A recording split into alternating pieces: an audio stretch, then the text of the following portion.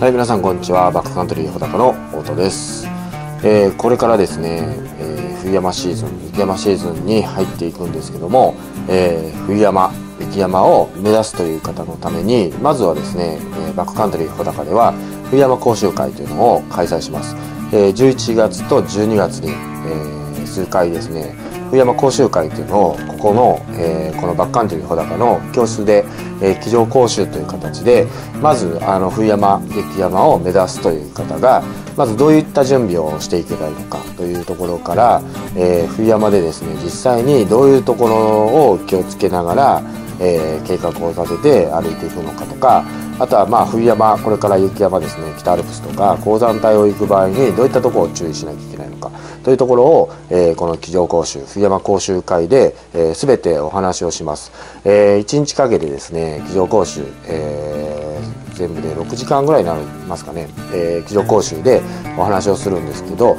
その時にですねいろいろわからないところ、えー、冬山を始めてみたけどえー、まだ基礎的なところを習っていなくてわからない。こういうこういうところがわからないとかあのそういったところもですねご質問いただければ一応あのご質問タイムというのもあの十分にあの設けていますので、えー、まずは冬山講習に受けていただくと。それで必要な装備、えー、必要な準備っていうのが見えてきますので、えー、そこからですねあの準備を進めていただきたいなと思いますのででバックカントリー穂高では一応実践的な冬山の講習会、えー、実際にですね冬山に登りながら、えー、ピッケルの使い方安全歩行、えー、ルートの選び方ですね。そういったところ、まあ、行動計画の立て方行動の仕方あとは衣類とかの使い方ですね、えー、っていうところをあの実践的に、えー、学んでいただける登山教室というのを開催しています。まずは、えー、年末年始に燕岳に登るんですけども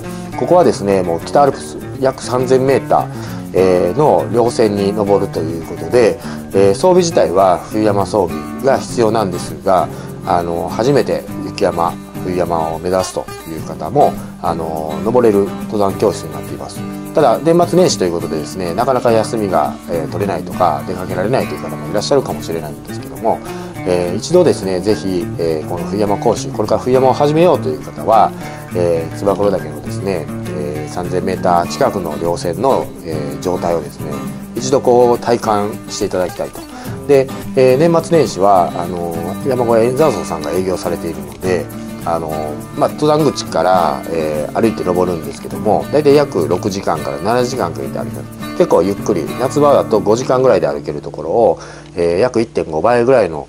時間をかけて歩きますのでかなりゆっくりしたペースで歩きます。なのでちょっとこう体力的に心配とかあの初めての雪山でちょっと心配だという方でもですね一応歩いていただける、えー、ようなペースで歩きますので安心して、えー、参加していただきたいと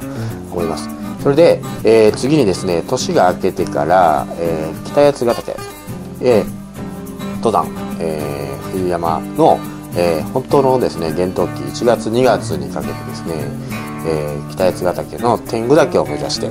えー、冬山登山教室を開催します。で、えー、黒百合平というところで雪上訓練ピッキの使い方やアイゼンの歩行ですね急斜面の登り方などをあの練習しながらですねあの条件が許せばというか天候のあの風の具合だとか、えー、視界だとか天候の具合を見てのあの条件付きの、えー、登頂条件が許せば登頂できると、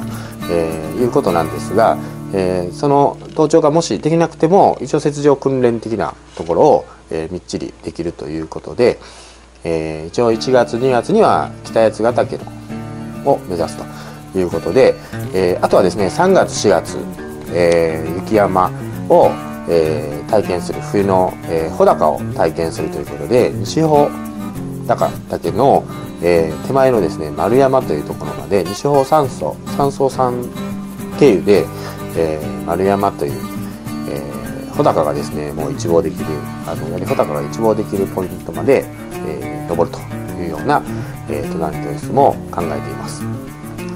えー、次にですね5月の連休。これはもう恒例になっている唐沢バカンスということで、えー、残雪のゴールデンウィークの唐沢、えー、北アルプスの唐沢穂高連峰に囲まれたですね唐沢を拠点に、えー、唐沢岳に登ります。